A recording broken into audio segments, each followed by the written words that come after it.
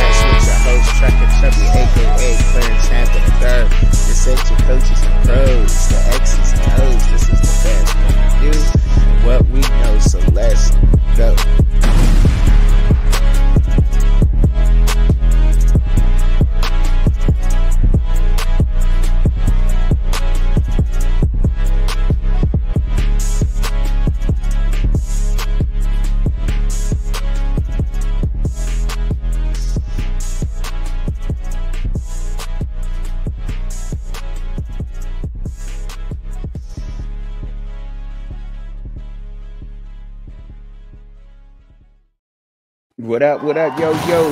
What up with everybody, man? What's up with all my people, man?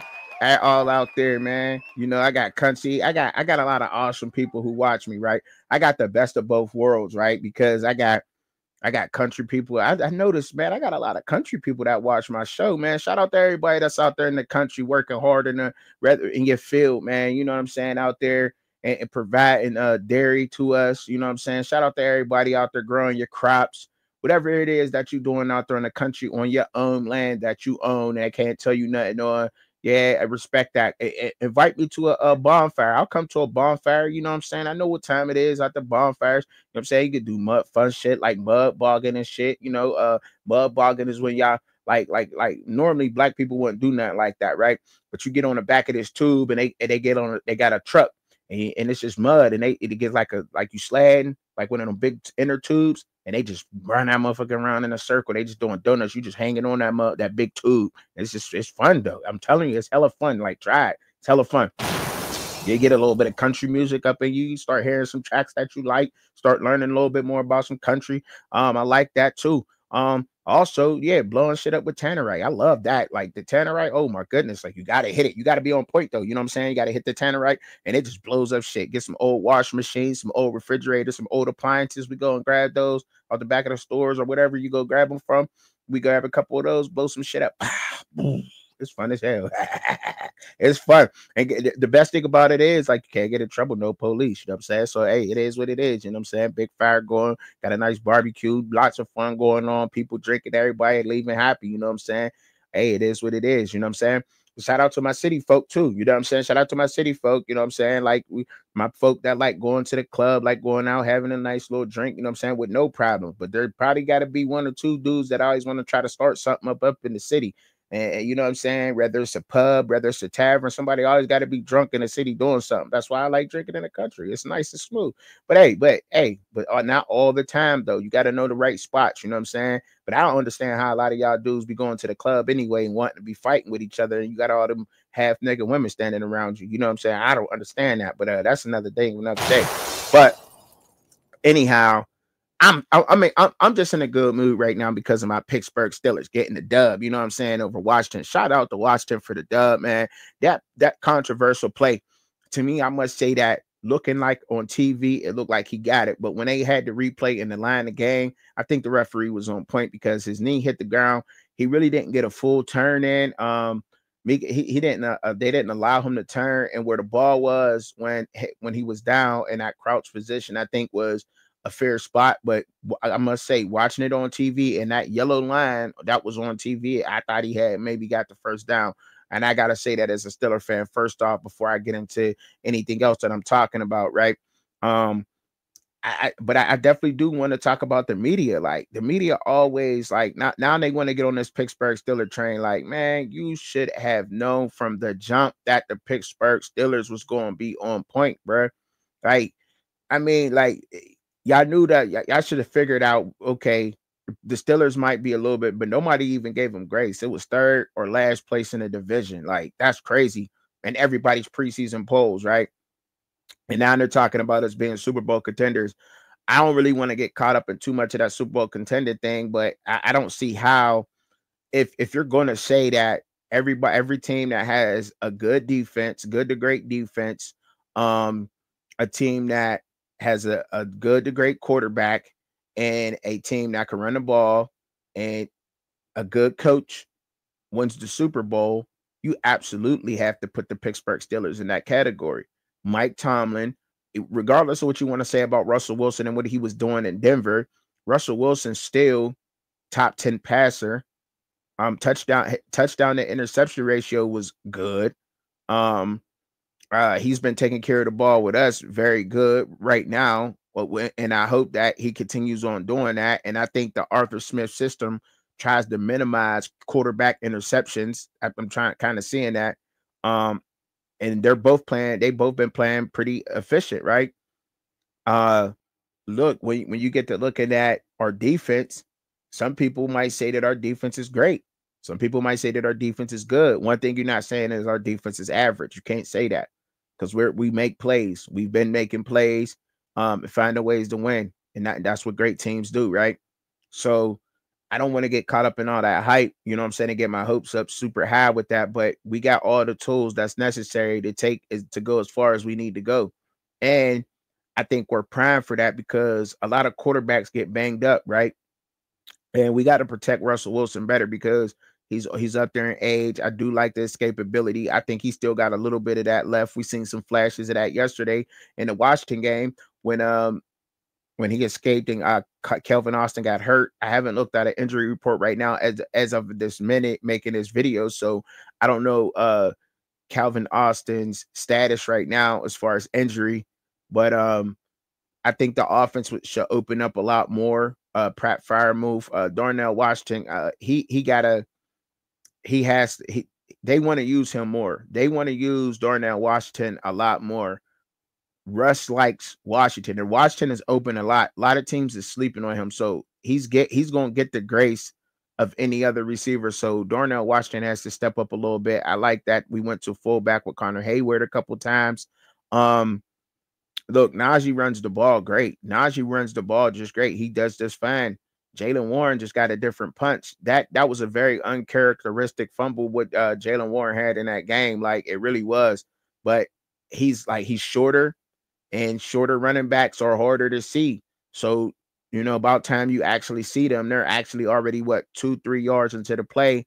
If they're strong and they could, if they're strong and quick and can make a move like Jaylen Warren, that's an extra, you know, two or three yards. Is why those shorter running backs that's you know big and strong like that, five nine, 225, 215 pound running backs. That's why they they get a lot of yards, you know. And I, I'm I'm seeing why Jaylen Warren is doing his thing now. Najee, he he's uh agile, athletic, and stuff. You know what I'm saying? He does his thing. Jaylen Warren came in, gave us a little boost, but he got that fumble. You can't do that. Got to hold that ball. Sometimes it's just best to just go down. Um, normally, but you know, sometimes, especially when Najee's running the ball, he moved that he would have moved that Powell into the end zone. So I get why they didn't blow the whistle and why they gave us some grace because they didn't give Najee a lot of grace in the Jets game. Um, when we played the Jets like that. So I get why they didn't blow the whistle, the referees and everything. But look, I like the way our team is looking. And from here on out, now we move into the division play. The Baltimore Ravens, uh, it's, it's respected, like you know. And then we got on Christmas, uh, Christmas Day. I think we we playing the Cincinnati. I mean, not Cincinnati. Jeez, we got the Kansas City Chiefs, but we still got Cincinnati we still got Cleveland and we still got Baltimore to get through, right? We go on the back half of our schedule, is why everybody said we had the toughest schedule in the NFL because they expected the Bengals to be good. And I still think the Bengals are a good team. I just think the ball just didn't, you know what I mean? It just didn't bounce their way this shit. Well, you know, that's a basketball term, but hey, it just didn't. Some games just they're right in it. And a lot of games just didn't go their way. You know what I mean? A little bit of luck, they maybe could have used that a little bit and um you know a little bit of turmoil you know as far as not having a running back getting hit uh Khalil Herbert a little bit late I think Herbert is going to be a problem to deal with I think the uh Cincinnati Bengals got him right on time about to move into the you know the back half of their schedule so we not we don't want to count out Cincinnati because Joe Burrow and um you know Ja'Marr Chase they're great players and getting Herbert there, a running back where I think that he'll he'll cover up a little bit more of what Joe Mixon was able to provide. Letting Joe Mixon go, I think, was a, a horrible mistake, and they they know that too now. That's why they're trying to replace some of his attributes right now with getting two running backs. You know, having uh Brown and having Herbert. That should account for Joe Mixon. You know what I'm saying? And both of them put together, you know I mean? Maybe you can get a little bit of Joe Mixonness out of that and what he was able to provide for that Bengals team. Uh, the Browns, you know, the quarterback situation, man, it's it, it just been that way. Um, I think they overpaid uh, with with Deshaun Watson. Sean Watson got a gruesome injury. Um, it's crazy that it happened that way, but you know they they got Jameis Winston in there. Um, Jameis Winston had a great first showing, you know, but now he seems to struggle when teams are prepared for Jameis Winston uh, to the fullest. He seems to struggle and seem to have been some of the same things going on. Um, I you know, because he look, he come out throw for 300 in one game, and then in the next game you can't even get 250. So, you know, it's like what's going on. The Browns really got to solidify a quarterback. Uh, I don't know if they go with uh Thomas Robinson from UCLA. I don't know if they go with him or not. But um, they got to figure something out over there, man. With the Browns, uh, they're, they're probably if, if not, then they'll probably draft a quarterback out of this year's draft. I don't know who the Browns actually go after, but uh, yeah, they definitely got to solidify and get, and get a quarterback there in the Browns, and uh, because they're losing guys, and um, guys are starting to you know get very impatient with the organization and, and the moves that they're not making. And that's not good when you got disgruntled team going on. So I feel for the Cleveland Browns fan, even though I'm a Steeler fan, I still got a lot of friends out there and people that watch that are Browns fans. So look, I understand what y'all going through, man. I know y'all pissed off out there, man. Um, you know, in, in Cleveland and everything what's going on out there. But uh I ain't mad at it. I ain't mad. And um, you know, Steeler fan must say but yeah, I like I like the way that we looking. So put some respect on the AFC North, man, because we still coming. You dig? All right, now look, I was uh, on my picks, man. It's crazy because on my picks, y'all, I was literally like, I missed, I missed uh three out of the ten picks out of the t- t- uh, thirteen games. Out of thirteen games, I only missed three games. Um, I want to talk a little bit about those games, right? Uh, and I'm gonna I'm gonna pull them up a little bit because I'll, I'll get them pulled up here. Pull up my extra, you know what I'm saying? Get my thing going, get my thing going. You dig? Yeah, you get two Truckin Chubbzys. You dig? You know what I'm saying? Get two of us. Nah, but that you don't get two. You'll see. You'll see what I'm about to do right quick. Yeah, dig. So you know what I'm saying? Me and Shad both had ran with the um.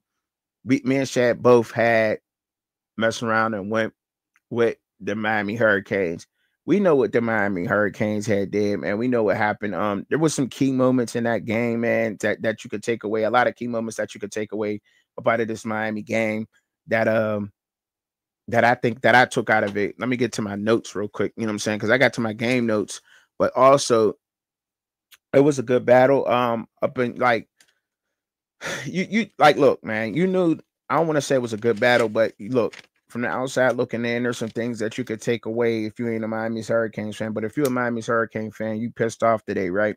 But like, let's say for instance, um, so in the so in my in my game notes, I had to go through and watch it and look at my game notes, right? So if I take away from in these Miami games, these are some plays that I thought that was important, right?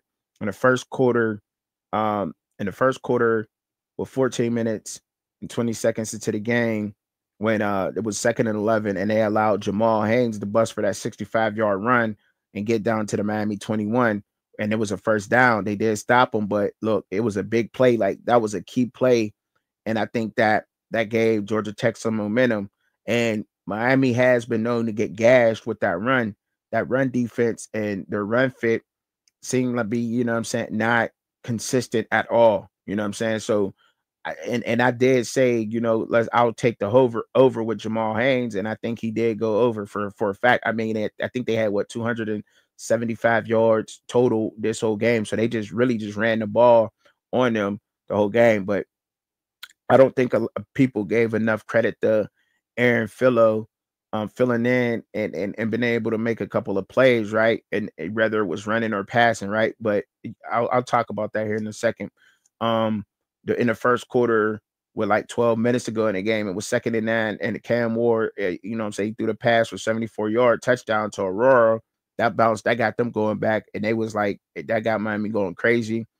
The team, um, I thought they had picked up a little bit momentum, but then like with 37 seconds left in the first quarter, um, it's third and nine on the Miami 41, and Matt Aaron Fuller he ran for 12 yards and got a first down. Right, you got to get off the field on third down, and and it's like wow, they keep giving them chance after chance, and that's a 12 yard run, right? And I think that's what my a lot of Miami Hurricanes fans were talking about as far as getting gas with the run. Like, you know what I'm saying? Like it was plays like that at 39, and here they are, you know what I'm saying? And it was on the Miami 41. 39, you got to get off the field, or else they may be able to kick a field goal and turn that into points. And they get down to the 29 yard line. Now they're in field goal range, right? So in the second, uh, so and then you know what I'm saying? It was like back and forth. Uh, you know, here we go, back, back and forth. You know, keep the, the scores pretty still low up until like it was, was the, second quarter with two minutes and 27 seconds. It was fourth and three. Um, it was at the Georgia Tech 23 yard line. Cam Ward threw a pass that was incomplete. Got to complete that. It's got to complete that pass. We got to complete that pass, Cam. You know what I'm saying? Like, and we all got him as a Heisman favorite, but you got to complete that pass, man. You got to make that play. Um, another play was like it was a third quarter, the third quarter, 11 minutes into the third, like 11 minutes left in the third quarter, roughly around there, like 11 minutes and 15 seconds, something like that. It was four from one. They had uh, the Georgia Tech 39 yard line. Cam Ward, another incomplete pass. four from one. Like, you got to get that. You got to get that, man. You know what I'm saying? Like, you know what I'm saying? That now that that turns in that, that's the difference between being able to either kick the field goal or you know what I'm saying, like at least getting that range. Like you got to make that, but I think you got to be able to run the ball in those situations too, though. You know what I'm saying? So they so right now Georgia Tech is up like 10 to 14 in the game. Um, and it's it's the third quarter, six minutes and 45 seconds left to go in the game in the third quarter.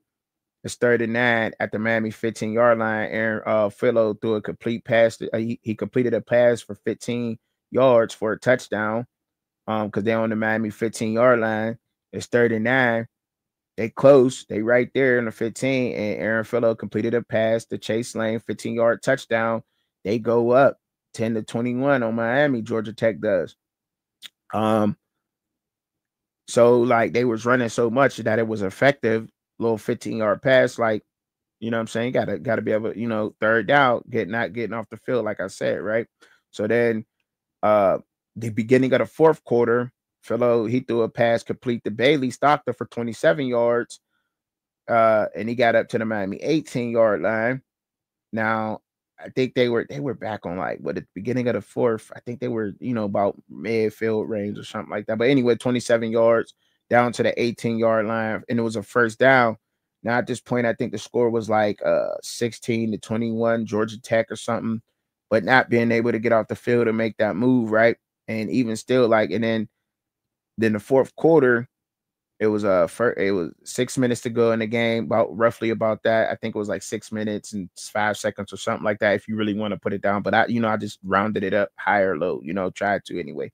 Um, was first and 10 at the Georgia Tech 38 yard line. Cam Ward uh, completed a pass to Xavier Restrepo for 38 yard touchdown. Um, and at this point, they were already playing from behind and they couldn't start the run, but it wound up being 23 to 28. And that's that's the end of the game right there. And they really couldn't um get the ball back after that. I mean, Georgia Tech being able to run and and and them not running enough, I don't think uh in that game. But look, I think well, I, I don't want to say that, right? Because we, will sit here and say, oh, they Miami run the ball enough. And I think so. Um, just about as much as you probably gonna get from Miami. I think they ran the ball, they passed 67% of the time, so they ran 33%. I thought that if Miami's uh, offense is 60-40, I think you can't stop Miami. You, I think you cannot stop Miami if they're 60-40. Um, I think they're that that's about the pass to run ratio that I would like to see out of the Miami Hurricanes. It's a 60-40. I don't got no problem with putting the game in Cam Ward's hands, but I would like to see a 60 40 um you know, saying run pass percentage. And then I think that Miami is the, is at their dangerous and at their best if they're able to do that. Well, Georgia Tech was able to pull it off with only 25% passing and 65% run, which shows like, yes, if you have a, a good run game and you can run the whole game and it's effective, um, you could do whatever. You could do whatever, right? Once you establish the run, I don't care if it's at if it could be at the professional level, collegiate level, whatever level in football. If you're able to run, then you should be able to do whatever, right? Because now you got to load the box up and now the load the passing is open. You know what I'm saying? You get a little a lot of man to man and everything else. But um what I what I'm not going to do um as a and I know Miami Hurricanes fans, a lot of them watch me, and I know a lot of them may be frustrated about this loss. But what I'm not going to do is sit here and say that SMU got a chance to win the ACC. What I will say, and I'm and and I'm an outsider looking in on this Miami Hurricanes thing. What I will say is that I do think that Miami was like like they got to stop spotting people points. Stop spotting people points.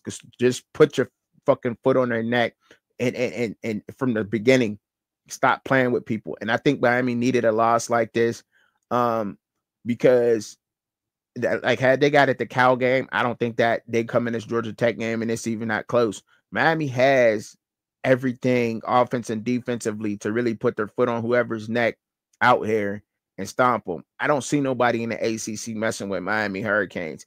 I watched a lot of football uh this whole season. Miami Hurricanes have the complete team. They really do. Um and and to for people to say that sometimes Miami been hurting for that like a uh, loss. Like how could how could we sit here and say that Miami been hurting for loss? Like we've seen worse things happen in college football. We've seen a lot of these teams and a lot of these games go ways that you don't approve of, right? Um, I don't think Georgia Tech should be sitting where they're sitting right now with what three, four losses. Like, there's no way. There's no way. The Georgia Tech we've seen put put their foot on that, you know what I'm saying, against Florida State earlier in the beginning of this year is the same Georgia Tech team that I think that should be a lot better. And any Georgia Tech uh, fan will tell you that that team is supposed to be a lot better than what they are. You've seen how effective they're able to run the ball on Miami. Miami has one or two defensive linemen that probably will probably get drafted out of NFL. Miami has Xavier Restrepo, which is the best playmaker in college football. It, uh, he got to be in your top three. I don't care. He's in your top three playmakers in college football. Right? Xavier Restrepo is. Cam Ward is uh, 1A or 1B to a lot of people out there when it comes to the best passer in college football. Um, sure, they got some young guys in uh, different places, but Miami could beat you and and with 12 personnel, whatever. And I think that Miami should have they should have ran the ball a little bit more. I think they might then I know it. I know Miami should have ran the ball a little bit more. I think they were a little bit one dimensional against a Georgia Tech team that is built physically. And I think that that helped out Georgia Tech a lot. They got one dimensional. I mean, look, 67 passing and 33% running, run the ball a little bit more. You got big, you got Fletcher Jr. and you got that Martinez. Man, use those backs. They can they can beat you, bro. They can beat you going heavy. You know what I'm saying? Double tight end set. Uh, uh, you know what I'm saying? 21 personnel set. They can beat you in a 21 personnel set. Miami can do that. Both of their tight ends, McCormick, Arroyo, um, Martinez or Fletcher in the backfield. And you know what I'm saying? And and with Restrepo and whoever else they want to put on this other side of Restrepo, you know, they can beat you like that. And they can beat you spreading you out. You know what I'm saying? With one tight end and 11 personnel, you know, like I just I think that they needed a game like this. So if you're a Miami Hurricanes fan coming from trucking, you know what I'm saying? Much love to y'all out there. Don't don't be upset about it, right? Be on get on your team, you know what I'm saying? Criticize your team fairly. Cool. But I think y'all needed a, a, a take this, take take it, get a taste of defeat, um, and bounce back and come back and, and show the world that the Hurricanes is the best team in college football. Period. Period because it's it's week in and week out. You could just take somebody's and just snatch it out of there. And I think the Miami Hurricanes could do that. All right. So moving on to the next one. Um, yeah, yeah. Yeah, uh, we we took we took Texas in this game. Uh we we were right on this pick. Me and Shad was right on this pick right here. Um, and I think I think we took Texas for right. Everybody else would take Texas, right? Um, Texas is a very well oiled machine. They're a team that another one of those teams I think that can line up and and they could play I think I think they don't want to play big boy football. They like playing a little bit more finesse, and I get it. You know what I'm saying? You got Quinn Ewers, you got you know, you know Manning, Archie back, Arch back there, Jaydon Blue. Um, Texas is underrated. Well, I, I think they're, I think people look at Texas as being a lot of finesse team, and and they're not looking at how good that. I don't think people give credit to that that defense that's over at Texas, man. That Texas defense is different, man, and um and it really it really is. It's it's a very good defense. I just don't see how Texas has a loss. I just don't know how. I, I, I don't see how they can lose that game, but they they got some games coming up where they got to lose or win, and Texas got a they got a tough couple games left in this, but I did take them to beat the Florida Gators. Look, the Gators is going through so much right now. I don't think that the Gators um they got to get Lagway. They got to have DJ Lagway back there. I don't I don't think DJ Lagway being in that game will probably made it a lot closer. To be honest with y'all, because this is a Texas team that a lot of people overlook and that I didn't properly do my homework on, like how I should have been throughout the season to really get in a deep in depth look at all of these players and seeing. So when I'm watching the film and I'm watching these condensed highlights of Texas, I'm seeing a lot of good play about it. Um, even on the plays where they're not getting stops and the highlights are against Texas, I'm still seeing this defensive line doing what they're supposed to be doing. Um, um their gap assignment. And I, I, like that because you you want the offensive line to be able to move one way, and I think that they can do that as a whole unit on the defensive line with Texas. Um, whether it's crash right, crash left, they can move the offensive line. And when, and when you got a defensive line that could do that, that's where I think that your your best bet is with Texas is to really, honestly, honestly, you got to be able to beat them by passing the ball. I don't think that they're going to allow you to keep running down their throat the whole game. But hey, we we've seen things, worse things happen. You know what I'm saying? in college football all through this year. But I did, but we did take Texas to win the game against the Florida Gators, though. Shout out to Texas, man. Shout out to everybody, them Longhorns that like Texas. Um, Shad took, yeah, Shad took um Syracuse in this game um because he's he's a huge supporter of Fran Brown, and we took teams that we were supposed to be able to lock in on and make videos about. Like Texas was one of my teams, and I apologize to everybody out there about Texas, but I get so caught up in that. I, I, love college football. I'm too ADHD to really like lock in with one team, right? I, I really am. I, I, love my Steelers, and I don't even lock in on my Steelers like that. But there is times where I could I just sit down and I really just start learning more about my team that year with the Steelers because I loved them that much. I just became a Texas Longhorn fan by default. You know I mean? My wife bought me a Texas sign. She's been a Longhorn fan for her whole life. And I'm gonna get better with it. I'm gonna just get better, and, and I promise I will get better. But uh, but that was one of his teams though. Syracuse was one of his team, and I, and that's where I was getting at with this whole thing. Like, so he took Fran, and he so he has kind of a bias when it comes to Syracuse and Fran Brown. But I, I knew that Boston College just presented something different that I don't think that Syracuse was ready for. I think they now they did come ready. Now I don't want to sit here and act like oh they got blown out the water. Syracuse just uh they they just straight up destroyed them. No, they uh Boston College absolutely came to play in the game. Um, I mean Syracuse came to play. They only beat Boston College only beat them by six points, 37 to 31. Boston College, uh, they move up to five and four, two and three in the ACC. Well, three and three now, six and four now. They move up to six and four, excuse me, and three and three. So now they both have the same identical record in the in this uh season. But I mean, when you look at production wise, though, like Boston College was another they're another one of them teams that were just able to just run it down their throat.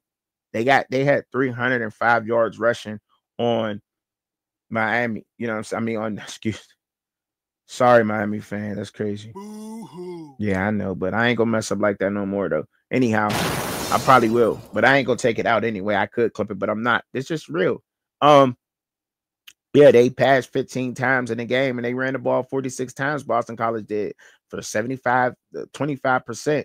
They had 65 passing yards the whole entire game. Boston College did. They had 305 yards rushing the entire game. Now, when you look at Syracuse, on the other hand, they had passed for 71% and they had 52 passed passes for 392 yards. That's not a winning recipe. And somehow they still almost won the game. They had 21 rushes for 88 yards, right? They ran the ball 21 times for 88 yards. Now, that's you need about a hundred, right? You probably need a hundred to say that out of the 21 times. If you run the ball 20 times, you probably want to get like a hundred yards to say that it's effective. Shout out the law dog for that. You know what I'm saying? And really looking at that in that kind in that way, in that perspective, right? Um, because Cal McCord was lighting it up, man. Cal McCord was 31 for 48, 343 yards, two touchdowns, um, no interceptions. He got sacked three times. A Boston College defense was able to get to him three times. Uh, like I said, Robichaux, like I said, when I made the pick, y'all go back and watch the live where pick and roll with me and Shad from this week. I told you, Robichaux is a beast, man. He's another one of them running backs out there. I think that people overlook. He had 26 carries, 179 yards, did his thing to, uh, you know, and then they had also had Jordan McDonald, the one-two punch. He had 14 carries for 124 yards and one touchdown. So they were just able to just beat up on them. That offensive line at Boston College is absolutely bonkers. They absolutely did their thing on them. Um, and you got to give it up to those guys, man. Those guys came out there, they balled out. They did what they had to do in that game. But nonetheless, I did take uh, Boston College to win that game. So I, that was another pick that I was right on. Uh, so far, I got two out of the uh, three. You know what I'm saying, right? So we'll keep it moving with that one head to the next game. So the next game I had up was uh West Virginia at Cincinnati. Um, the reason why I took I took West Virginia, man, is because well, first of all, I was big on Garrett Greene on this offseason. I got to looking into this West Virginia team. They're a very tough team, a very tough, resilient team. I think that this is a good program. I think that uh, West Virginia had the toughest Big 12 schedule out of all the Big 12 teams, period, point blank. I think that they're they seeing a lot of the top uh, talent. And if you don't believe me, you can go look at their schedule. I mean, they had Pitt from the ACC um, early on. They had uh, Penn State early on, um, that which is no excuse, but they played. They had it. They got they look coming out Pitt and Penn State back to back. Like, come on, bro. Like you got the backyard, like so. First, you got Penn State, like that's a rivalry game, low key. You know what I'm saying? When they do play each other, that that got that game got some history. And then you got the backyard brawl with like you know what I'm saying, which is Pittsburgh. But how could you say the backyard brawl, Pittsburgh, and then you got Penn State? You know what I'm saying? That's not that's what uh, what a two hour, three hour ride from Pittsburgh. You know what I'm saying? Like, come on, bro, they they right there. Like they both low key rivalry games to West Virginia and West Virginia fans, right? And that was tough games. Those are very tough games for West Virginia. They come out like that strong, and I thought they had a very good schedule. So I'm looking at that team like that's a good team. West Virginia is absolutely a good team, but and they wind up beating um they beat Cincinnati 31 to 24 in that game. And I thought that they played an excellent game, dog. Like I, I really do. Like now, could they play, play better? Yes, but they also had a a decent balanced game. Um, and vice versa, they had a, a, a decent balanced game playing for Cincinnati, right? Um, and Cincinnati had a decent balance. They had a very balanced game, actually. Cincinnati had the perfect balanced game against West Virginia. It was a good game. And like I told y'all, it would be. Um, Cincinnati had 38 passes for 279 yards. That's 48% of that offense right there when they ran. And then they had 40 uh rushing yard, 40 rushing attempts for 187 yards, which is 51% of their offense. So, you know, you look at the pass run ratio for Cincinnati was 48 51, 48 pass, 51 run. Per, that's like you can't get no more balance than that, really, right? Right? You got 50 50 damn near, right? That's what that is. Um, so they played the perfect balance game for West Virginia. West Virginia came in 60 uh 40. They ran the ball 60% of their offense. They had 26 rushes for 103 yards. They was averaging like four yards per carry. Um, Cincinnati had the higher average. They were averaging almost five yards per carry. Um, the passing yards, as far as uh, West Virginia, they were able to pass just enough. They had 17 passes for 156 yards, and that was due to this, the um, Nicco Marchiol, the, the the quarterback who had stepped in. You know, he only threw the ball 15 times. Like I said, that often, and, and when I talked about the game, how much was the offensive coordinator at West Virginia going to let Nico pass the ball. You know I mean? How how much were they gonna and, and I didn't think that they were gonna let him take him off the reins and with, with good reason. I mean, he threw a touchdown uh, on, on 15 attempts. You threw a touchdown, but you also threw a pick and you only had 50, you only had 15 attempts. Like that's not good. And I think that's why they didn't want to just turn the whole offense over to him. And I think that was for good reason. He was also sacked twice. They was able to get to him.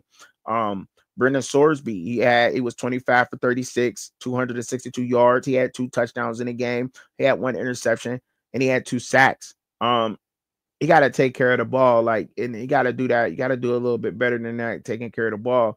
But uh Brendan Sorsby was the leading rusher in the game. You know what I'm saying? Um, I'm sorry, he wasn't the leading rusher, but damn near. I mean, he had 11 carries, 78 yards. He had a touchdown, and he also lost a fumble.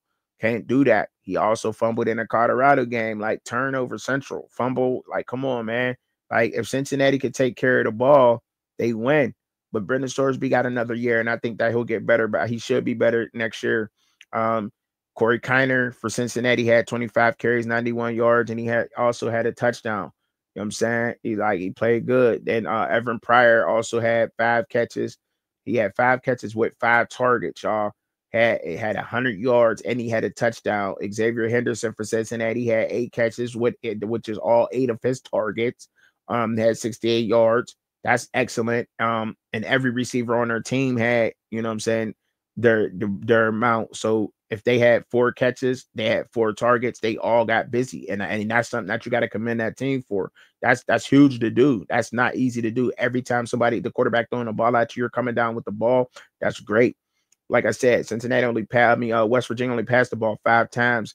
Um, CJ Donaldson in the game, he had four carries for 12 yards. That that protection was horrible. Got to get better with that. Um, Jahiem White had 13 carries for 64 yards. Um, he got to that, that production has to get better out of those two. I expect a lot more from Jahiem White and CJ Donaldson, but uh, Nico, the backup quarterback, had seven carries, 28 yards, and he also ran one in for a touchdown. Now, it, that that production has to get better, but other than that, man, like Cincinnati, I thought I thought that that defense really showed up for West Virginia, and I knew that they would be the difference, man. Um, I felt like they would be the difference, honestly. But I, I talked about it, you know, and the game and we picked the picks was right on that pick also and why I picked them and that's why and we can move on to the next one. Georgia versus Ole Miss. Why did I take Ole Miss?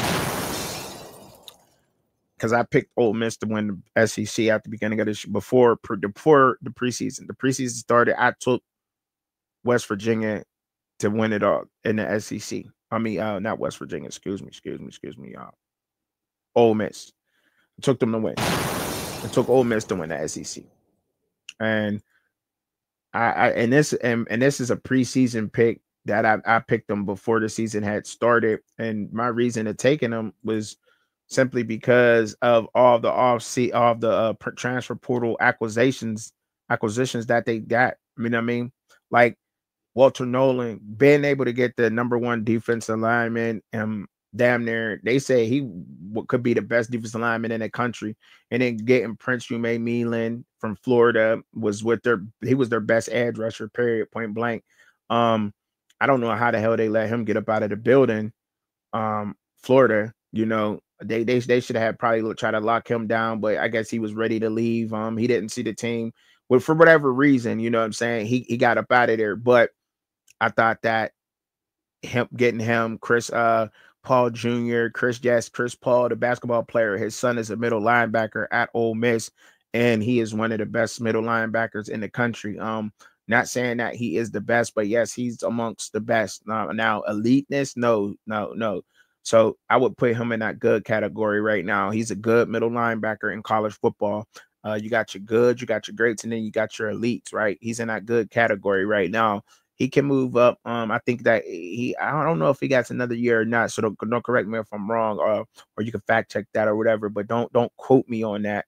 But I think he's a good middle linebacker, and I thought that that defense had all the moves that he had make, and then getting Wells from South Carolina at receiver. I thought that would help that receiving core, and he has somewhat.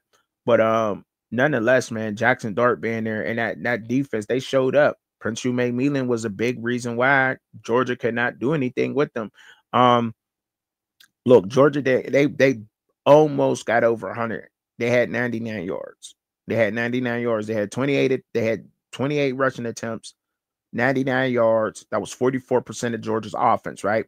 When you get thinking about that. And then they had 36 passes. He dropped back 36 times, had 186 yards. That was 50, 56% of their offense. Very balanced game from both teams. From both teams.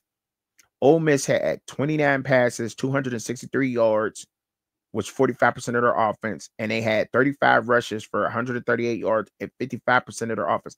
This was, believe it or not, it looked they just dominated them. Ole Miss just dominated them. They did. Ole Miss really dominated Georgia from the. I mean, was the score was 28 to 10. It, it really didn't look close at all. Um, it's not as, as close with the stats are telling you, right? Um, it really, it really wasn't. They were they weren't able to get the get the offense going a lot. Um, shout out to Austin Simmons, man, came in, uh, the young quarterback from Ole Miss, man, came down and when Jackson Dart went down early, he came in and, and lit it on fire, went five for six, uh, had 64 yards, very efficient on that drive. That drive was very important to that game. Uh, who knows what, what may happen, but a backup quarterback coming in and being able to do that to Georgia defense um, was crazy. And I, I also took Ole Miss because I like I don't I didn't the beginning of preseason, Shad and I we we we talked all the whole entire off season about and we we followed the transfer portal, the transfer players uh, as best as we could to our abilities and looking at all of those transfer players and players moving around I knew that college football was headed in this direction of what we're seeing right now. So that's why I, am a fan of it, like because I kind of I seen it, I seen this going on, and I knew that the way that the SEC had recruited and the way that they brought players in from wherever they got them from, because there's something with the SEC. If you cannot get a transfer player from the from an SEC school, so they have to come from outside of the conference, right? In the SEC. You know, you can't. Uh, Kentucky transfer cannot go to Georgia and play. They're not having that no more, right? You feel me? Like they they they're they're trying to stay away from that, trying to have, build some kind of honor code amongst each other, um, so that they're not tampering with each other. But I don't know how long that's going to last. But I think that that's in effect right now. Um, but look, they, the players that they had got, I knew it was going to step up. But let me stop rambling and get on to a little bit of these stats real quick. Carson Beck was a 20 for 31. He had 146 yards. He ain't have no touchdowns. Had a five. He had a had an interception, turned the ball over, and he got sacked five times in the game. Um, can't be that way. You can't. You can't. He he only met. He had 11 misses right out of 31 attempts. Um, that's not good. And as of late, when pressure is on you're not looking good. And that's why quarterbacks like Cam Ward and Shedeur Sanders, and I'll get to them later. I'll get I'll get to I'll get to Shedeur later, but that's why people think should the, the world of Shedeur Sanders because every college quarterback that seems to get a little pressure underneath them, they panic, they throw picks. Um, and they lose games where they get sacked five times. You could sack Shedeur five times. He probably could throw a pick, and Colorado still probably beat you, and he still make up for it with his drives and his his accuracy. That's why, and his toughness, he's different. Um, by the way, anyway, Jackson Dart, he was uh 13 for 22, 193 yards, one touchdown, one interception. He only was sacked one time, so that offensive line stepped up and a lot of people thought that this Georgia defensive line was going to just run through them. And I, I just didn't think so. I didn't think it was going to happen like that. Uh, wind up being the total opposite of that way. Um, when you look at who was able to run the ball, man, I mean, they, they was just trying to get it from everywhere. Jackson Dart had carried it seven times, 56 yards. Um, Thomas had nine carries, 21, 24 yards. Uh, you, you, you, Ulysses Bentley had 13 carries for 28 yards uh, Georgia just they just couldn't run the ball. Period. None of their backs was really running the ball neither. And uh, but Nate Nate Frazier had 12 carries, 47 yards, and a touchdown. Um, Trevor Etienne had six carries, 24 yards. He probably should have stayed down there. I, I, you know, I guess he's trying to work on his pass blocking for the next level. I guess. Um, I, you know, I, I don't know. Don't don't put words in my mouth, but I don't know. But getting uh Antwane Wells from Overson for South Carolina, he had five targets. He only had three catches for 27 yards, but he did have a touchdown in this game. Um, and like I said, getting somebody like him veteranized was was pretty good. They're they're they they did it. They did the damn thing, man. They did the damn thing. Jordan uh, Jordan Watkins had four catches in that game for 68 yards. He didn't have a touchdown. Cayden Lee was the man. He had four catches, 81 yards in that game. Like he was he was untamed in that game. That this game right here with Georgia and Ole Miss, man, I was able to pick it. I was like I said, it was already a bias for me a little bit because I took Ole Miss to win the SEC. But um, I'm not hanging my head on either one of these guys because, like like how we also said in the SEC, one loss is no losses, two losses is one loss. That's how good that that's how good that league is. The SEC is so good that a two-loss team in the SEC is uh is just one loss.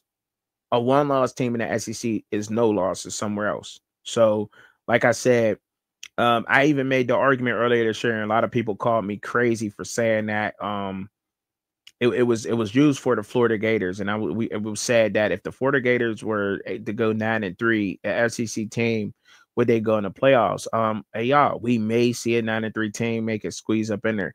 I'm just saying the brands are too big, and if you're gonna say if, if, if we're using that same reference, it's saying that three losses is two losses, and two losses is one loss, one loss is no loss in the SEC, and how good that division is, then I guess that you may probably see that. I, I wouldn't put it past anybody in the committee to do that, especially if it's uh one of those top teams like uh Georgia, for example. If Georgia was to lose another game, um, do they knock them out? Uh, Tennessee, Texas, and them. Um, and I don't know. We'll see. Especially saying that they're, you know, they, they, you know, we'll, we'll, we'll see. Good, good conversation. Probably have it later with the panel. But anyway, another one, another game right here. Indiana. We both took Indiana to win this game right here. And that's largely because of Curt Cignetti We call him, we call him Curt uh Psycho Cignetti That's what we call him. That's what we call him. Um, a he come in and I knew that this was going to be a tough game for for them. This is the best defense that I knew that, that they had faced all year. So and and I and I and I said that in my take but Indiana is a decent balanced team. Now, they weren't able to run the ball all over the yard with Michigan, although they were still averaging almost four yards a carry, 3.4, like, you know I'm saying, something like that. But they averaged getting three yards a pop. Michigan, they ran the ball 34 times for 69 yards, and they were only getting two yards a carry on Indiana. So a lot of people think that that run was working, and in some places it did work, but they were only averaging two yards. They ran 52% of the time on the offense. Now 30, now dropping back 31 times with the quarterback that they got, getting 131 yards from Michigan. I don't think that was a good recipe, but still, like Indiana, still that defense did show up against a good. Like, if we could say Michigan is good at doing one thing, damn, they're great at doing it, and it's running the ball, like right. So they did. They, they came there and did what they were supposed to do: stop Michigan from running the ball. And look, both teams, it, it, this was the best defense that Indiana was going to face. And I think that it was a good test for Indiana. Um, and I still do think that they got a chance at the to upset Ohio State. But people want to admit it or not, I still think, and I got Ohio State winning the Big Ten. But yes, I do think that its Indiana team is built up for the challenge. 32 passes, 32 passing attempts for 206 yards. Indiana was 57% of their offense was that just passing. And then they ran the ball 24 times for 76 yards, or for that's 43% of their offense. Michigan um pass percentage was 48%, uh 50 48% pass, 52% run in that game. I don't think that that I don't think Davis Warren should have threw 31 times at all. Um may, may but like I said, the run just wasn't there as much as everybody thought it was, as it looked. It just wasn't there, man. It really they, they were doing a good job. It, it was there at like I don't think you were going to beat Indiana. I think that by just running the ball like that, like they had to get some kind of production out of that passing game, and I, and they did, and they did for the most part. Um, Kurtis Rourke, he threw an interception, he turned the ball over on them. He, he was 17 for 28, 174 yards, two touchdowns, one pick. Um, Tyson Lawton, he he had a decent game, 12 carries, 55 yards. Uh, Donovan Edwards had 50, 15 carries, 46 yards. Um, him, him and uh, Mullings had 10 carries, 30 yards, and touchdown. So he was averaging three yards uh, per per jump. And may, maybe maybe they could have just going back and forth with that, but Miami just, I mean, not Miami, Indiana just got, they got so much, man. They got Ke'Shawn Williams, a, a, a receiver, man. He had 70 yards this game. You don't know who's going to show up for them. Omar, Omar Cooper, 53 yards and a touchdown receiving. Uh, Elijah Sarratt, I would probably say he's like the best. I, I, you know, I, and it's hard to say because you got Elijah Sarratt, Omar Cooper, Myles Price, uh, Ke'Shawn Williams. They got a team. They have a team. They got a decent quarterback. They have great coaching, and they, they got all the recipe, man, to take it all the way, man. So I, I don't want to count out Indiana, man, for for for for running the table, bro. And I I want to see what they do play against like Ohio State. Um, because even if they lose to Ohio State eh, this late in the season and at this point, I don't think that you knock Indiana out of the playoffs, man. I just don't think so, man. Especially how they hold up and how is the loss. How is this loss versus Ohio State if they lose? If they lose against Ohio State, what does it look like? What does the loss look like? Is it is it a field goal? Is it is it a one point? It, you know what I mean? What is it? Because this team is very well coached. They're very disciplined, and I think that we'll, we'll, see that on the field, and y'all will get a chance to witness what I'm saying. And I'm not just blowing smoke. All right, Colorado at Texas Tech we all seen this game play out the way that it played out, man. Like, I mean, it, it ain't no secret. I mean, look, y'all, we we we seen we seen Colorado come in and, and, and absolutely just ball out, man. We seen we seen Colorado come in there and ball out like that. That's what we seen out of Colorado. Um, Texas Tech came in, came out strong, guns blazing, crowd throwing tortillas, making tacos, through taco dip they threw the the taco mix on the field, threw some salsa on there. They they threw bottles. They, you know, I mean, they did everything they could do to try to distract this Colorado team from from winning, right? And I, I'm just I'm I'm extremely proud to see that Colorado has done a lot of what I thought they should do, right? Uh, to win games. And not on you you they have to run enough to just for you to respect the run, right? and they ran the ball 24 times for 81 yards. So no, it wasn't over 100, but it was uh, it was effective enough for Texas Tech um not being able to account and then just let Shedeur do what he did. I mean, should he dropped back 45 times, 281 yards. Uh, that was 65% of their offense. Colorado had a 65 35 split, 65% pass, 35% run. That's not bad for Colorado at all. Um, they kind of got one dimensional, and I don't think that moving forward, I don't think, and, and I'm, I'm gonna be honest, like I don't think that they can be that one dimensional with the teams that these teams who they're about to face now, like Utah, um, that defensive line is absolutely going to get after them. But that's next week. I'm talking about. I'm recapping uh week 11, right? When I recapping week 12, we're talking week 12. I'm recapping week 11 right now. Um, and Texas Tech, you know, they, they passed the ball 46 times for 275 yards, 53% of their offense. They had 39 rushes for 169 yards for uh 45% of their offense. Um, and this look, stats eh, they they don't tell the whole game. You actually got to watch the film and see what's going on and in the game or whatnot. Uh Shedeur was 29 for 42. He threw he passed the ball 42 times in this game. Um that's normally not good for Colorado uh in, in past history. Him throwing the ball 42 times. That's how you know this team has improved because he dropped back 42 times and they still won um by double digits, I must add. So he was 29 42, 260 yards, three touchdowns, no interceptions, and he was sacked three times in this game. They got to him three times for a team who a lot of people were saying that they wouldn't get there. Not me, not myself, but I knew that would happen.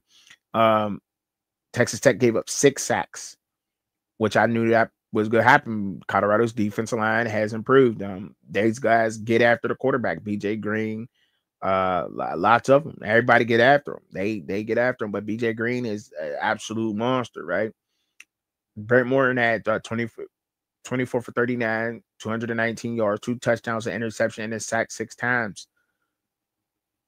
Just a horrible game, bro. Just uh, like I mean, they they let Colorado climb back in this game because they must have ran uh, that same. They must have ran an inside zone. Uh, Texas Tech must have ran an inside zone like I don't know what 26 times.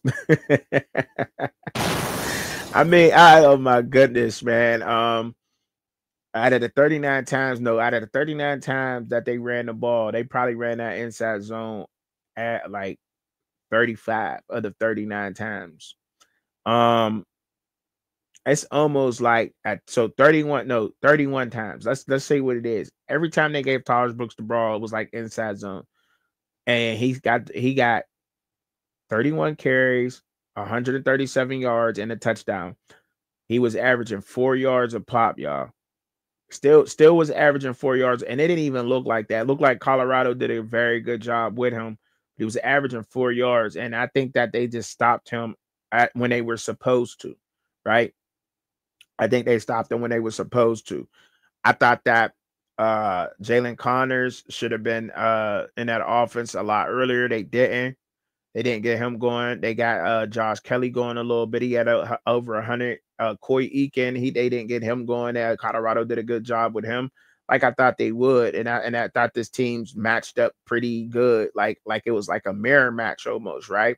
I thought this game was like a mirror match as far as both of these teams because when you get to looking at it, these receivers for Colorado had a very, very even team. I mean, you get LaJohntay Wester, 82 yards and a touchdown uh, Will Sheppard, 79 yards and a touchdown.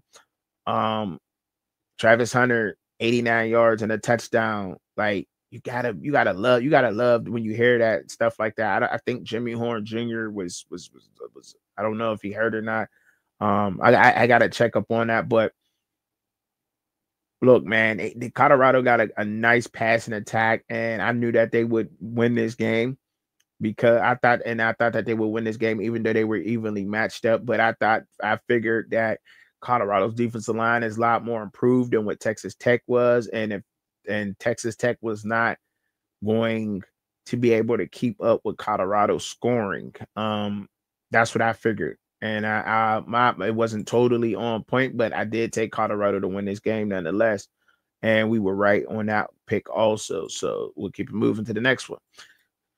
South Carolina and Vanderbilt. Now, South Carolina, this this South Carolina uh, team, like I like I always say, and I'm gonna stand on that hill, and I'm gonna stand on that to the end of the day, or the most consistent defense in the SEC.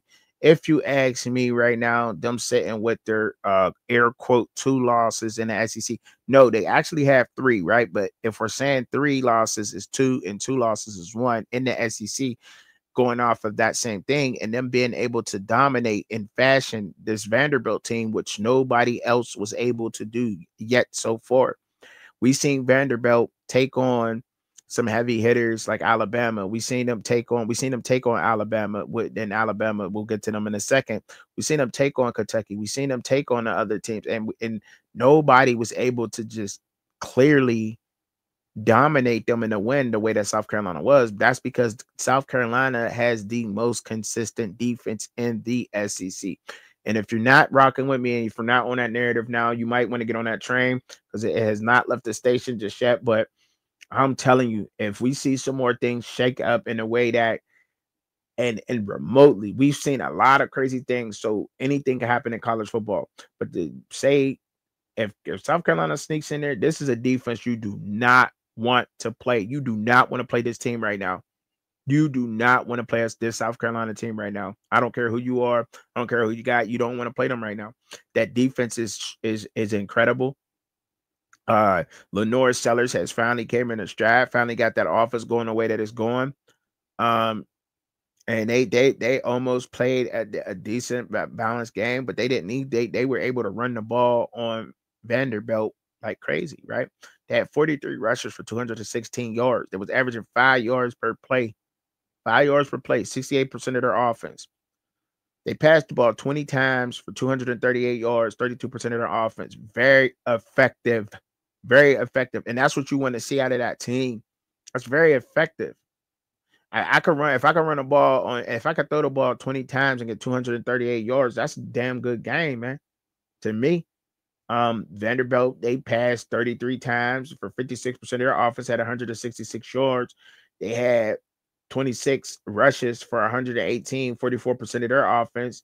But South Carolina, that uh, I'm telling that defense, man, uh, D, um, and it could because when you look look at what LaNorris Sellers was able to do, man, listen, he took care of the ball. Listen, 14 for 20, 238 yards, two touchdowns, no interceptions.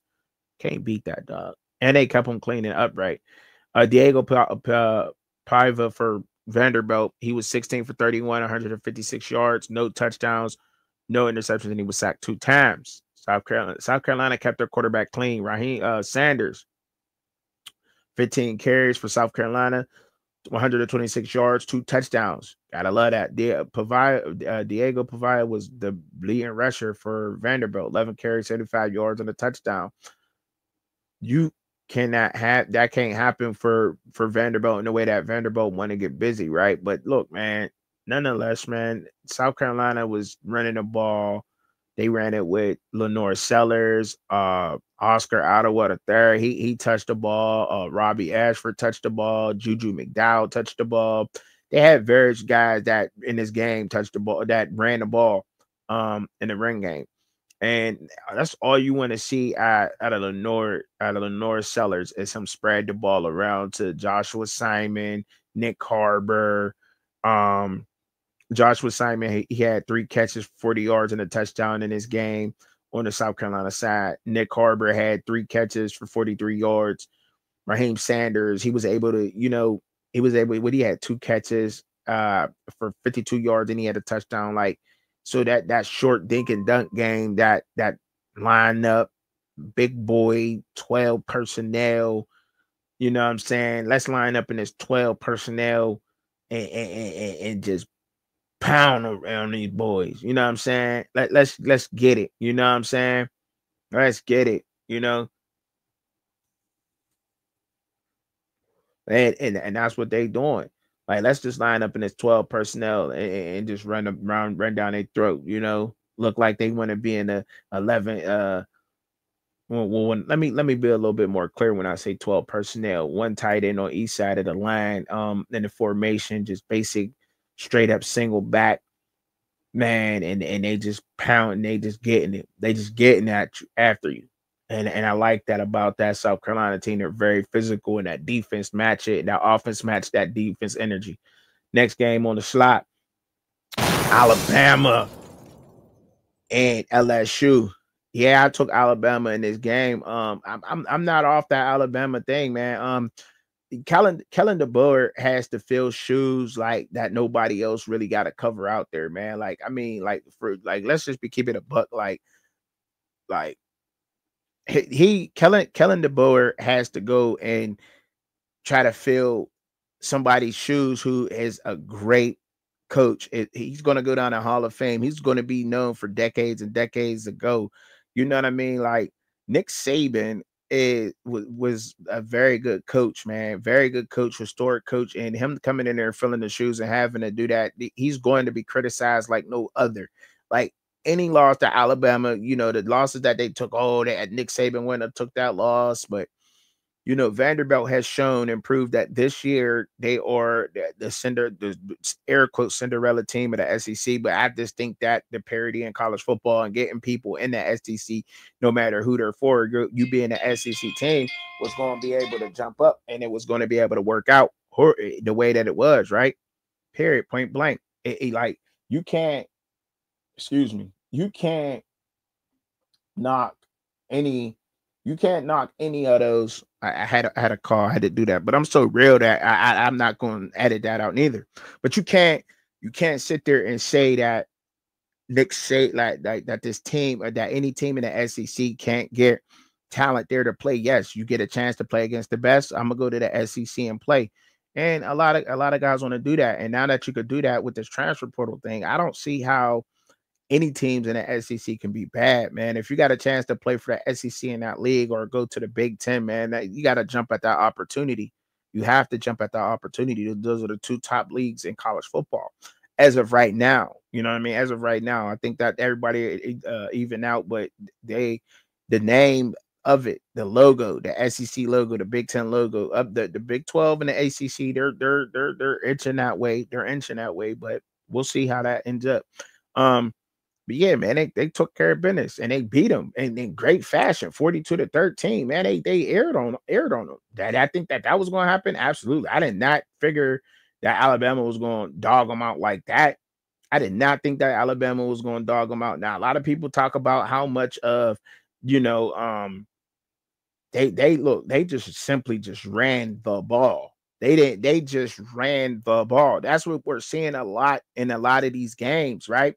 A lot of these games, eh, they are just running the ball, which goes to show y'all that how important the run game really is and it still is in football. Like you can be it, it's nice to try to build something to depend that to defend the, the seven on seven you know uh football way uh, that people think that's being played now but running the ball is a physical team and sometimes when you just gotta out physical somebody man you just gotta get gotta get and out physical man that's exactly what alabama was able to do man they had four, they rushed the ball 48 times, 73% of their offense for 311 yards. They had 18 passes in that game for 109 yards. LSU, Gus Nussmeier, 44 passes for 239 yards, 22 rushes for 123 yards. Yeah, their running was effective, but you don't, man. Listen, man. If you're gonna drop and, and, and shout out to uh, uh, LSU's offensive line, did a decent job. Um, he, uh, Gus Nussmeier was sacked two times, but he was under pressure a lot. They was getting at him, and he and that's effective, right? Because he got two interceptions to go with that. 27 attempt, uh, 27 completions, 42 attempts for Gus Gus Garrett Nussmeier. and it, it, look, he had a touchdown, two interceptions. He was sacked two times in that game. And look, man, when when, when you're doing that, you got to say, look, man, what, what's what's going on here? What is going on? And also, their quarterback was he had uh, Caden Durham eight carries, 63 yards. Uh, Garrett Nussmeier had four carries for 27 yards in that game. But Jalen Milroe, he had 12 carries for 185 yards and four touchdowns. Like Ryan Williams had one carry for 22 yards. Richard Young had six carries for 27 yards. Justice Hayes had eight carries for 23 yards and a touchdown. Man, they ran the ball. They ran the ball. They ran the ball. That's what they did, man. They ran the ball. Jalen Milroe was 12, 12 for 18 in this game. Everybody like, like fuck, we just gonna have a, a, a running attack. We just gonna use our big boys and we gonna let y'all go eat today. We gonna let y'all big boys go eat. We put it on, they put it on their offensive line, and that's exactly how they got the job done. However, they got it done, they got the job done. And now a win is a win and that in that in that dominant fashion like that, man, oh man, shout out to them for the win. Shout out to Alabama, man.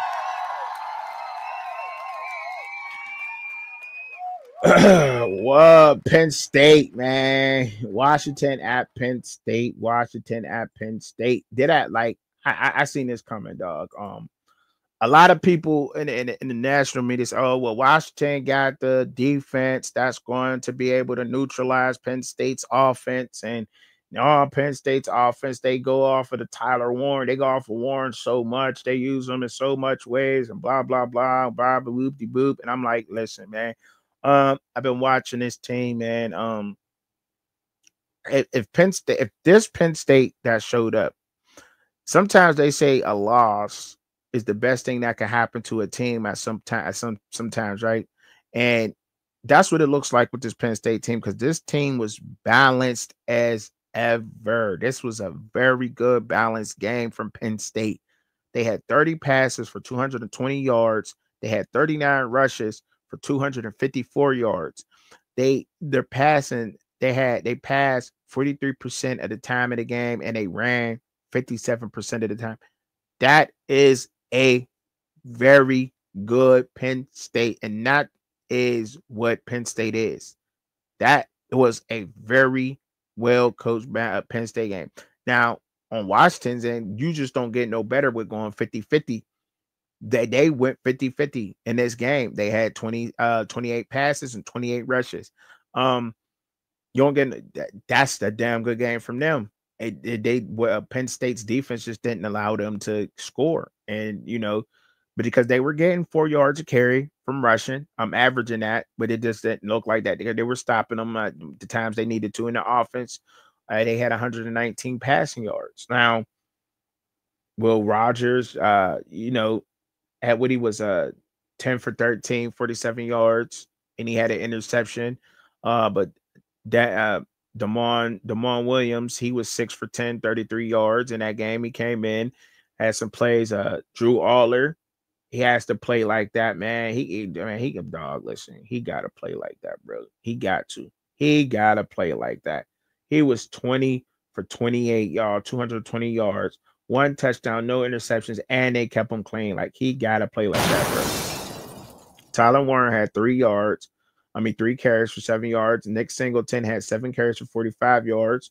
Um, Kaytron Allen had 19 carries, 86 yards, and a touchdown.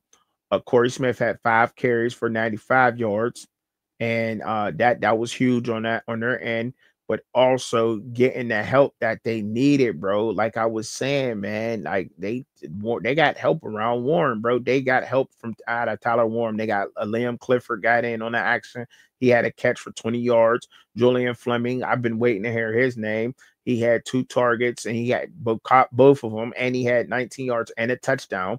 Um, I've been waiting to hear his name a lot more. Harrison Wallace had five catches for 50 uh for 84 yards. Kaytron Allen, he had a catch for eight yards. Nick Singleton had three uh, catches for 14 yards. Like you got to be able to spread that ball around, get that dink and dunk game going for Penn State. I don't care if it's downfield, but you got to open up that offense more because Tyler Warren is an absolute Swiss Army knife for that offense. But getting that offense and going more and more, eh, that's where it's at. But um, they look, Washington just couldn't find they just couldn't find their run game. You know what I mean? They couldn't find it. Jonah Coleman was only getting two yards a carry, 11 carries, 24 yards. Um, Adam Mohammed, he couldn't get it going either. Eight carries for 20 yards, averaging two yards a carry. Um, look, Demond Williams, he had seven carries, 65 yards. Uh, so, but he's also the quarterback, right? So, you know, saying dual threat. So, they just really couldn't get it going. I mean, Denzel Boston, two catches for 35 yards. Penn State did a good job against them, man. And I, as I thought they would, shout out to Penn State. Penn State's balling, looking like looking like a true playoff team. Man, may I may I add, looking like a true playoff team up out there, balling the way they are. And this is a game that I was wrong on. Um, I, I, I you know, I think I took and I and I said I was going to take them. Um, shout out to the Raw fan, Raw Hot family and everything. Uh, Bishop, I ain't seen Bishop in a while, but uh, uh, he's an Oklahoma fan, right? But I'm I'm looking at this team, Jackson Arnold, and it, it, was a very very good game, man. Um, but the same things is happening with Oklahoma, and then he Jackson Jackson Arnold just can't get out of his way, man. Can't take care of the ball when he needs to take care of the ball. Is why he lost his job. Let me call it what it is. He like he has to take care of the ball, and he hasn't been able to do that, and that's largely why Missouri was able to win this game. I think that Oklahoma absolutely has the defense, man. They have the defense. And when you got everything in the defense and when you got all the pressure sitting on some of these guys back, sometimes some of these guys can't handle the pressure. And that and look, and and that's a real thing, y'all. Like that, that's a tremendous amount of pressure that we would never understand. It's easy for us as fans to sit here and say that, oh, it's football, but that pressure of knowing that I am the end all be all for my team's success. Sometimes people can't carry that, and you gotta and you have to have the right support system around in order for him to succeed the way that he needs to succeed, or else you're or else you're gonna get some horrible things from him, man. Like you're gonna get horrible play out of Jackson Arnold, bro. You're not gonna get his best if it's to his support system.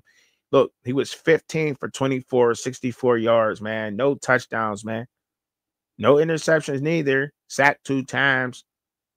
But like, where's the production coming from from that team?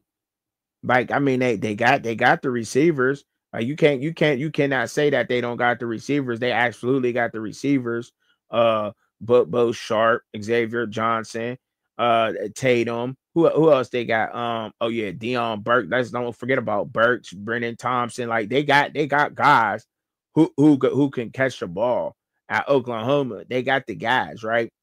Um, they got the running back that they got backs that that can take some of the pressure off them.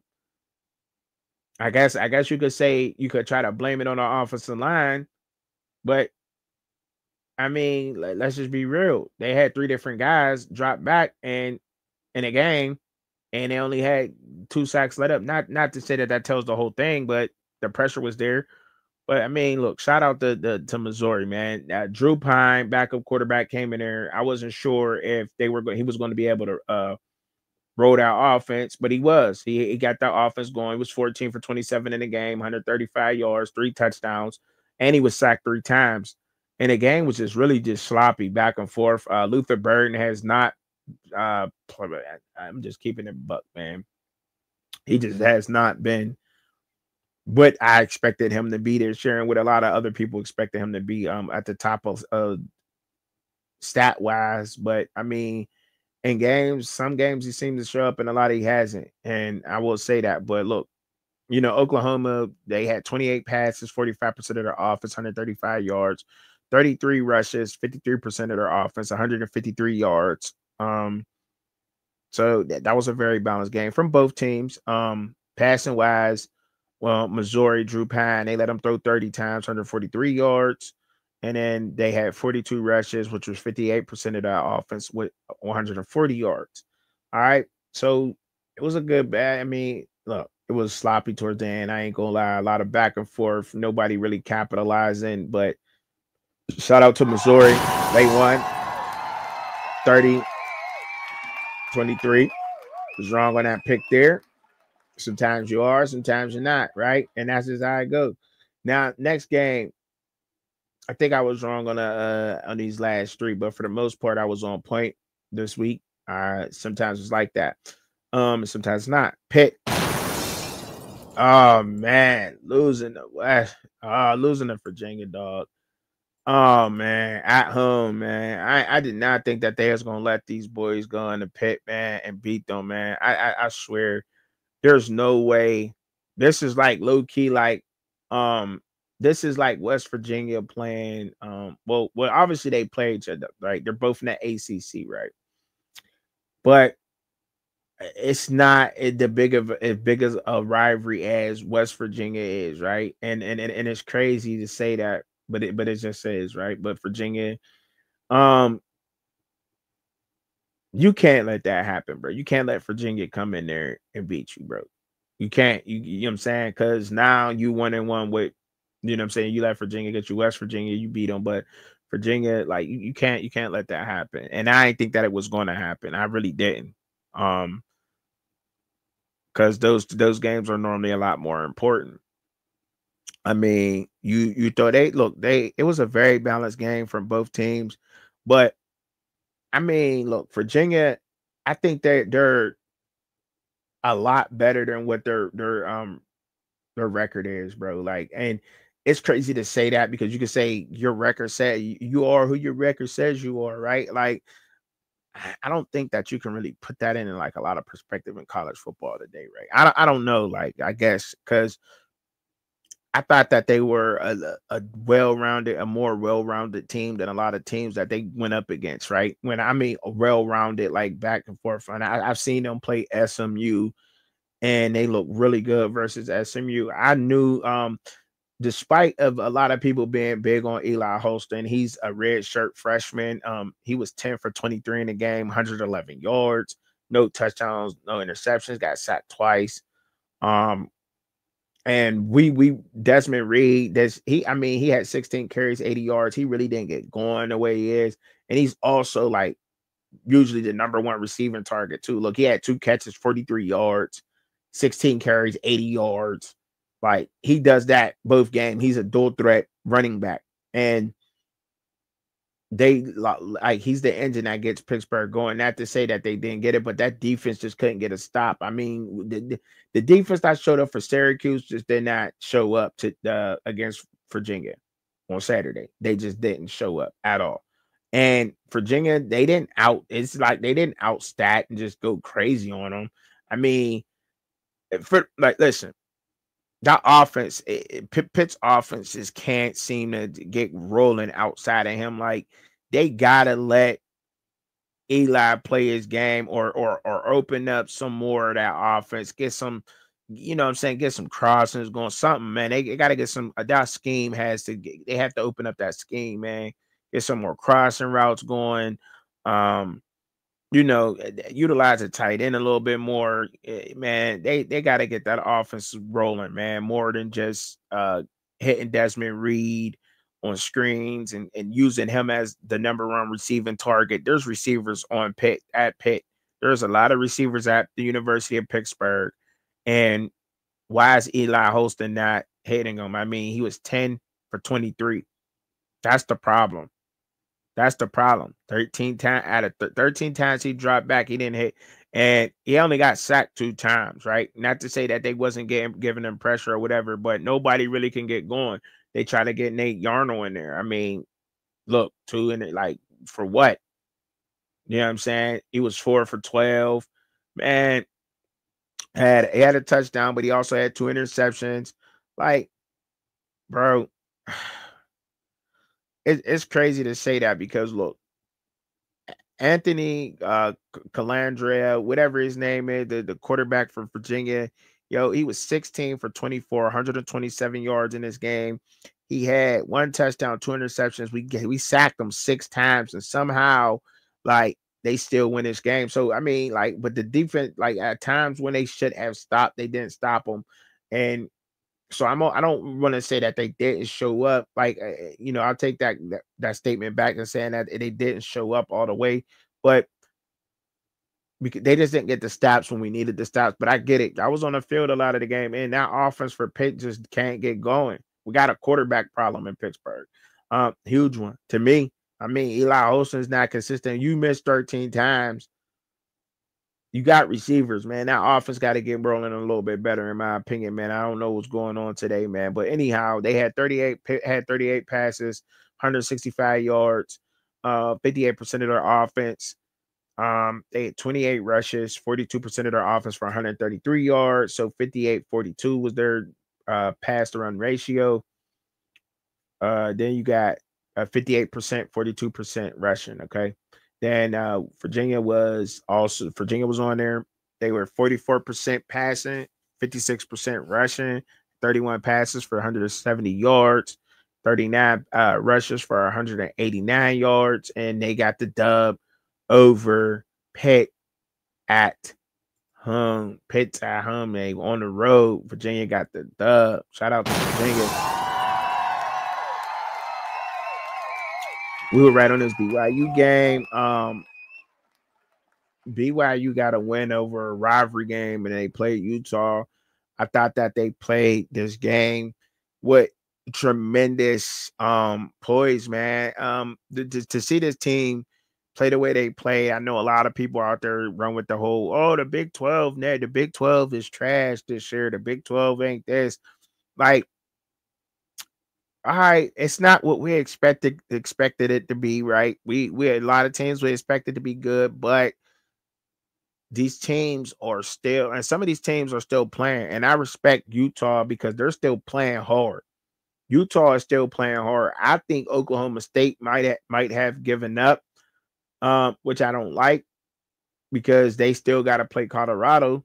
Um, and that that's a big game for anybody right now, right? If you got Colorado on your schedule, the remaining schedule, you got a big game still. So huge game to show what you can do. So why act like you want to give up? I don't I don't get that. I I I don't get that. That that's corny to me, but it's what it is. But look, Utah, you know, they both of these teams was going to come out and they were both going to try to run the ball and they're going to pass the ball very balanced. So and that, and it's eh, and they did just that. They came out and they did that. They performed up and they did what they had to do. I think that um they only won with the, the final score was 22 to 21, and BYU had to come back. Utah had that game, and they kind of let it slip from them. But BYU's been down like that a couple of different times. I think it was to Oklahoma State also, and they also was able to come back and win. Um, both quarterback, uh, well, well, Brandon Rose, you got to say was you know coming in there early, young guy, you know, twelve for twenty one hundred 12 yards he had, one touchdown, one intercept, two touchdowns and one interception. I think that that was an okay game from him. Um and being young and, and that big of a game coming in there like that, like you can't be mad at what he was able to do to go in there because they had the league for you know I'm saying? They had the league in the fourth. So you got to go that defense letting the letting letting uh, BYU come back and BYU's been able to do that. Um, they had Jake Retzlaff under control pretty much. I mean, they were able to get to him. They sacked him three times. He was 15 for 33 yards and 207 yards. 30, he was 15 for 33 with 207 yards, no touchdowns, no interceptions. He was sacked three times. The quarterback for BYU was. We know Utah can get to the quarterback. And that's why I think that it's going, well, it's not that I, I don't think anything. I know that when Utah goes play Colorado up at when they play on my Folsom Field, this is going to be a good battle. It's going to be a it's going to be a very it's going to be a good battle to watch because we've seen that Colorado defense step up. Um, I don't think it's not foreign territory for Utah, but last season, um, you can argue that Utah got past Colorado with a slick one last year. They owe they owe Utah. They owe Utah one. This is low low key rivalry. They owe Utah one, man. Utah got over on them. They barely got them last year. Um, and Utah got a team that's going to come in and they're going to play hard. But I did take BYU. I took BYU to beat Utah, and they barely did it. Um, I don't know if Cam Rising would have made every. I, I, I guess he makes the difference with this team, right? That much, that big of a difference. Um, to where you see a, a team like that and, and be so horrible. And and and it's the truth in college. Like the run game matters tremendously in college football, like crazy. But without a quarterback, your team, the team is eh, like not going to be. It's going not going to be a good team. Like you got to have a quarterback that could come in and take care of the ball, make smart decisions. Um, and yeah, and take care of the ball. You you got to have a quarterback to do that in college football because if you look around at college football and you see bad quarterback play, like statistically, um, you can look at the quarterback for Alan Bowman for for Oklahoma State and say, oh, statistically, he got his stats look all right. Well, as far as passing yards and, and throwing the ball, but you look at how many interceptions that guy got that's what makes his team horrible. How many times he has he turned the ball over and lost the game for Oklahoma State? A lot of times. A lot of times Oklahoma State getting down early, not being able to run the ball. Um, they go from, you know, being one of the best offensive lines last season, most of all that that mostly that whole team coming back this year and not being able to get the job done this year. Crazy crazy. Um, the uh, Georgia Bulldogs, they're almost the same way. They're, almost their whole team came back from last year. Um, a lot of guys came back from Georgia, came back this year, and they they already got two L's. But I mean, there's nowhere near. I'm not comparing Georgia to no damn Oklahoma State. Don't, don't let me get it twisted. I'm just saying, look in college football, how quick things can change and turn around. But Oklahoma State's team is just horrible because Alan Bowman just can't take care of the ball. He can't take care of the ball. That's how important it is for a quarter for you to have a quarterback in college football. You gotta have a quarterback. If you don't have a quarterback, you ain't got shit, man. Like, what do you got? What do you eh, like for real? Like, I, and I get it. Like, we, we, we see the running. We look around and you say, all right, well, they got running backs. Yeah, they got a running back. They can run a ball, but you got to have a quarterback with that. If you like, and, and vice versa, like, oh, cool, you can pass the ball, all you need to. You got all receive, but you got to be able to run the ball. You got you they it go together. It's this is a team sport. You got you know what I'm saying. You got you can have a quarterback that can throw the ball like crazy, but you got to have a I gotta get four yards production per carry out of my running back. If I can't get four yards per carry out of my running back, I might not have a good season if my quarterback can throw it all over the yard. That's why you see, like right now, seeing Colorado has success. They're getting at least four yards a carry, three yards, four yards a carry, right? At least three, four, right? Somewhere in there. You got to be at three and a half. You can't be at 2.8 yards per carry. Got to be at above three, I would say, and be safe, right? I would say that because I'll take three. If you can give me three, three on first and three on second, I can deal with a three and five, third and four, third and five. You know what I'm saying? Or, or, maybe on first down, you get me five. You know what I'm saying? And, and you know, I could take that. You know, could deal live with that. But like playing behind the sticks, you can't do that. And I'm saying that you're seeing the importance of it. You're seeing that the, the way that the game has changed all around. You got to have one. I mean, look, look at Michigan. Their record probably would be a lot better. Um, if they had a quarterback, they beat Indiana. You know what I mean? They're able to beat Indiana. They're able to beat a lot of teams if they have a quarterback. You know what I'm saying? They got better quarterback play. They're able to, you know, move the ball in in, in different ways. You know what I'm saying? They're able to move the ball in a different way. You're not able to try to pinpoint them down to one dimensional, and that's why you, you thought that uh, Utah would be a little bit more successful. They have the balance down. They just don't have a quarterback there. And when you don't have a quarterback, um, if, if they can get Rose to play better and Rose to show up ver- versus this Colorado team, then maybe they, they got a fighting chance. But um, how how much is is, is the uh, offensive coordinator really going to put in this young quarterback's hand against a good defense like Colorado, right? So you got to say they get that game. Um, and then BYU, for instance, why is BYU they undefeated? Well, nobody. I didn't think that Drake uh, Jake Ressler was going to get the job. I thought their quarterback was going to be trash. I thought their season was going to be trash. I didn't think they were going to be sitting at where they're sitting at right now, doing what they're doing because they got a quarterback who takes care of the ball, makes smart decisions with the rock, and as a result of that, you get a team that is undefeated and that is looking really, really good. Um, same thing, like Say what you want about Washington State. They're sitting at eight and one right now. The Washington State sitting at eight and one, and a lot of people say that they probably like how how do they work into the college football playoff? They're sitting at number twenty one right now. They're at eight and one, and I don't look like they're taking their foot off the pedal to me. Don't look like that's happening anytime soon. Um, Boise State barely beat Nevada. Um, they got they just barely beat Nevada. Then you also got a uh, UNLV. They still creeping up in there, seven and two, three and one in the Mount West. Um, shout out to them. Notre Dame is just playing unreal football right now. Like, um, it's crazy to say this, but like Notre Dame, like ever since that loss, man, they just been on a tear, man. Um, they're going to be tough to beat. Notre Dame is going to be tough to beat and tough to pick against. They're going to be tough to beat.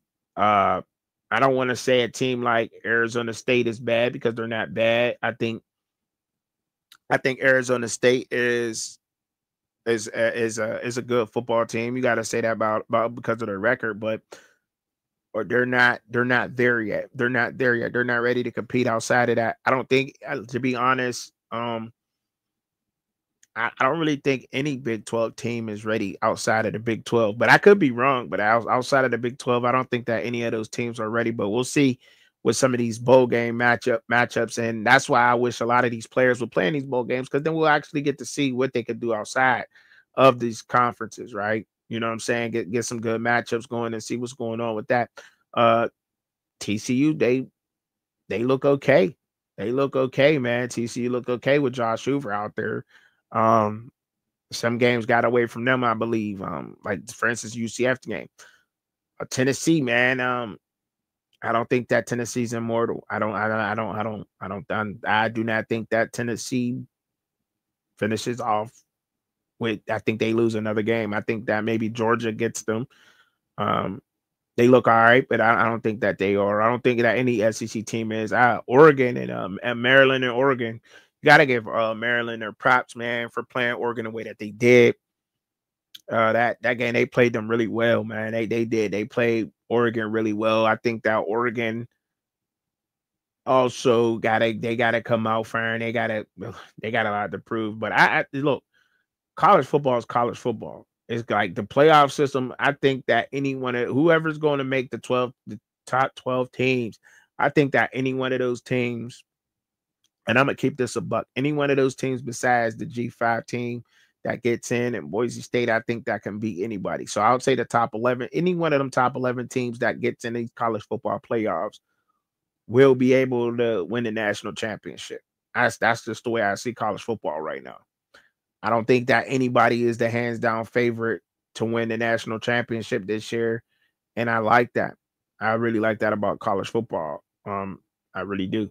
Clemson one week looking like they're they can they can do it, but you know they get held up at Virginia Tech and other and other places. You think Colorado could do it at one point, then you see a flaw in Colorado and and, and, and what they're doing. You know what I'm saying? And that that's what every team in college football. You just could see like anybody can be beat. Anybody can at any given any given week at any given time. Army struggling with North Texas the way that they did. Um, some people even got them saying that they can upset Notre Dame, but struggling with a North Texas, like it, week in and week out. Kansas, uh, Kansas shouldn't just putting a shellac on Iowa State, and I took Iowa State to win the Big Twelve, but right now Colorado crept up in there help with the help of Kansas. You know, Kansas playing out of their mind right now. And They're saying, okay, well, at least we could get to a bowl game. You know what I'm saying? At least we can get to a bowl game, and I like to fight in them. Um, man, it's just it's crazy football, man. All week, uh, UConn being seven and three right now. Like, who would have thought that UConn football team being seven and three right now? Liberty with two losses right now. Uh, man, crazy. It's a it's a year Rutgers beating Minnesota. Yeah.